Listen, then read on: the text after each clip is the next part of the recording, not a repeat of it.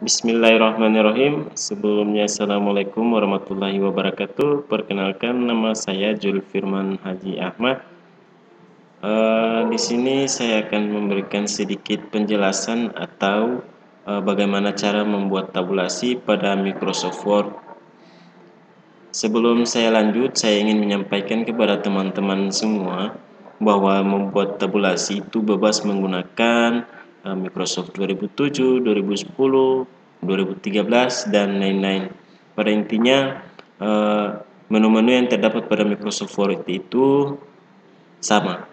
Eh, langsung saja kita masuk pada Microsoft Word, lalu kita buatkan daftar isi untuk membuat tabulasi ya.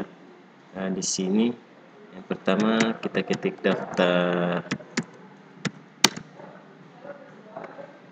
daftar yang kedua uh, pendahuluan. Yang ketiga bab satu. Yang kedua bab dua. Yang ketiga bab tiga. Yang keempat bab empat yang kelima bab 5 dan yang terakhir bab E dan yang terakhir adalah penutup ya. Maaf. Di sini kita rapikan dulu ya karena ini terlalu jauh maka kita rapikan uh, satu aja ya atau kita harus gunakan lain aja line page atau right oke okay. uh, eh, sebelum selanjutnya kita harus membuat pada uh, tanda ini ya. Namanya adalah line page 14,5 aja. Ya.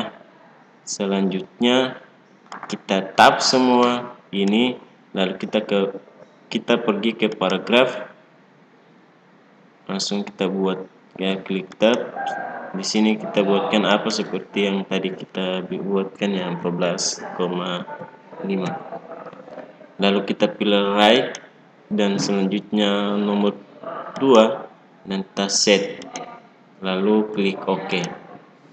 Di sini tampilannya belum berubah ya.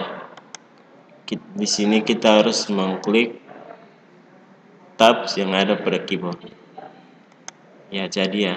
Selanjutnya kita buatkan seperti itu. Ya lalu kita isikan nomor sesuai dengan apa yang kalian inginkan.